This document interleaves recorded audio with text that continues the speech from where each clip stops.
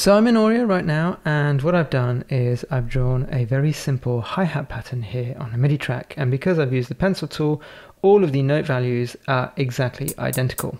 So when I press play, as you can imagine, it's going to sound really robotic and machine-like. But we can change that. So I'm going to tap the effects button on the track and I'm going to make sure that I'm in the MIDI control tab and not the channel strip. Now in the MIDI control tab, there's quite a lot of controls that you can add non-destructively to your MIDI. So the first thing I'm going to do is in the quantize tab here, I'm going to set my grid to 8 note so that any controls that I touch here are going to be affected by the grid. The first thing I can do obviously is to alter the swing. So let's bring the swing up to 3 quarters and you can hear straight away how that's affecting my hi-hats. Now, one really nice thing about doing it this way in Auria is that it's completely non-destructive, so you can come back at any time and change it. Now, not many iOS DAWs do this. GarageBand is one of the few that does, and Auria is another. But as well as adjusting swing, there's a few other things you can do. So if you look down at the bottom left, you have these two dials that are labeled random 1 and random 2. So in random 1, I'm going to set the value to be velocity. And in random 2, I'm going to set it be position. Now, if I increase random 1 all the way, you can see, or you can hear rather, how that is affecting the hi-hats. They're sounding much more human. I'm also going to add a little bit of randomization to the position value, and that's going to make it sound even more human.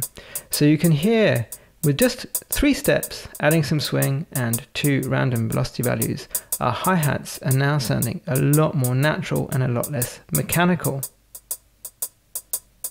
And just to offer some contrast, I'm going to zero all these values just so you can hear the difference. And now I'll just quickly add them again. So this is a great way of just livening up drum machine patterns or anything that's been created algorithmically. Now let me just zero all these values again and what we're going to look at next is the groove templates.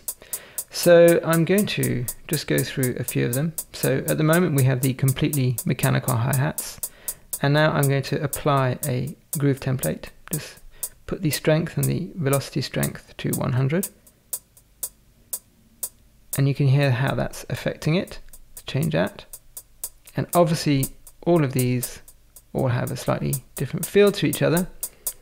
And of course you can still randomize further with the random dials down here just to make it feel even more human and add swing on top. So you have a lot of flexibility here. And of course you can also Create your own groove templates if you want, because there's a save button. So what you can do is create a MIDI pattern that you like and you can save that as a groove template. You also have the option to use some other controls such as velocity shift. So for example, if you want to make your MIDI part louder, just drag that clockwise. And if you want to make it quieter, just drag it anti-clockwise. And if you have a lot of variation in your velocities. You can add velocity compression or even expansion and do the same with the length. And another great thing, of course, if you go back to the grid options, is if you have a part that you actually performed yourself and you need to quantize it, you can use these options to actually quantize non-destructively, just like you can in GarageBand. And as well as all these non-destructive options, you have a whole bunch of destructive MIDI processors in this process menu. And as far as I know, no other iOS DAW has all of these options. So you've got a lot of MIDI effects that you can apply destructively simply by selecting a MIDI region and going to the process menu here. So I hope you found this video interesting and thank you very much for watching.